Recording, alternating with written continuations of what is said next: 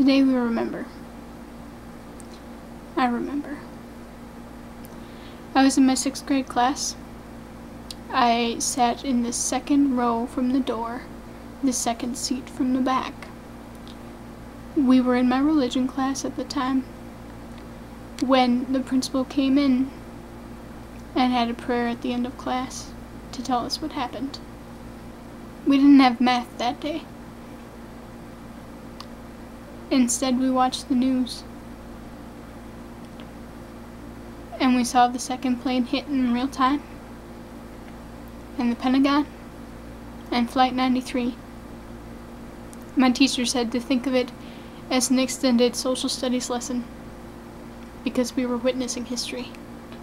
On the bus home that evening, I told my friend from the public school, I said, hey, you'll never guess what happened today. And I tried to tell her. All she had to say was very flatly to me. I know. Everyone knows. The whole world knows. Being 11, this whole world concept thing hadn't really set in yet. But when I got home that evening,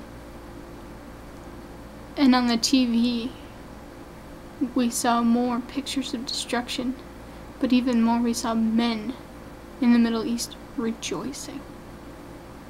Rejoicing at the mass murder of innocent people. I could not understand that. I thought that night the same thing I thought when my sister's Latino boyfriend sexually assaulted me. I don't care what country you are from or what culture you are in. That is never acceptable. Never. Most people who look in the mirror look in the mirror for vanity. They want to see this great person in themselves. I never saw that when I looked in the mirror. But that night, when I looked into my eyes, I wanted to change things. But the next day when I got to school, things were the same. I was still picked on, I was still a fat kid, everything.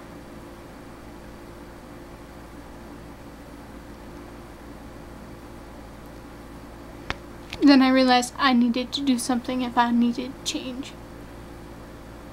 So I started reading and reading and reading so that I can so that I might understand why somebody would rejoice over cold-blooded murder. By the time I was 12, I knew more about geography, history, and politics than most adults did. But that wasn't being something great. A few years later, I began to understand the people on TV and their faces of torture. I'll ask someone who was in that same sixth grade classroom with me that day. She was my best and only friend. And she died, and her funeral was the day before I started my high school career. Six months later, I had the second of what seemed like mini terrorist attacks to me.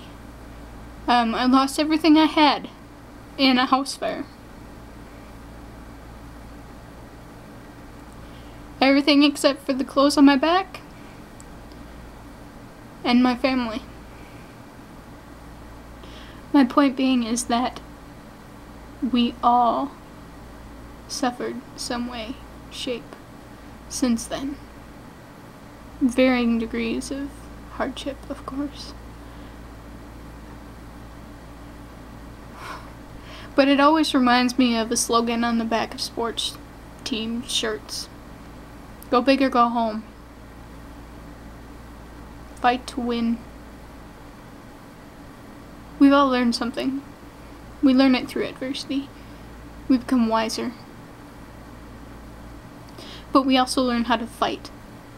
We learn how to fight to not be a victim of our circumstance, to always be chained to this event in the past, to fight to make our lives better afterwards.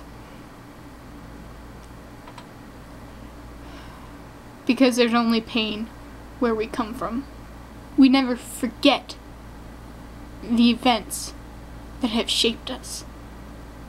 We let them mold us to become better people, to live better lives. We become resilient. We become stronger.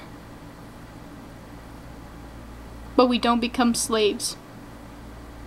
We do not become slaves to where we have been. We don't let where we have been tell us that we must expect the worst in our lives every day,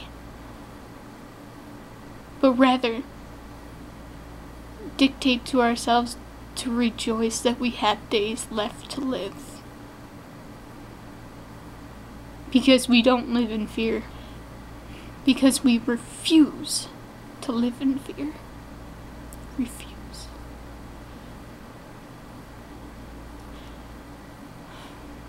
because the sun remains the sun, even behind clouds.